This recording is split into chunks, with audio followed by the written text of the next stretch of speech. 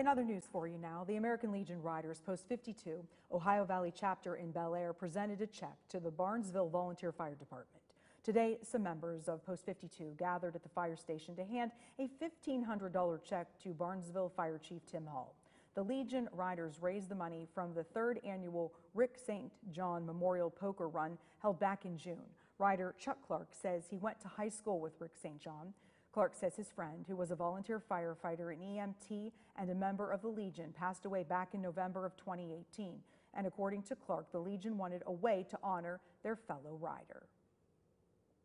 Not only myself, but the rest of the Legion Riders wanted to do something in his name that was meaningful. And as an EMT and a firefighter, this is the way we thought we would give back for him. We can't uh, express enough thanks to, to these, this group for doing this. Uh, as everybody probably well aware of, it takes a lot of money to keep a fire department going uh, with equipment and turnout gear and everything. So this will this will come in real handy. The riders biked about a total of 90 miles and already have plans for next year to donate to another fire company, which is still unnamed, in Belmont County in memory of their friend.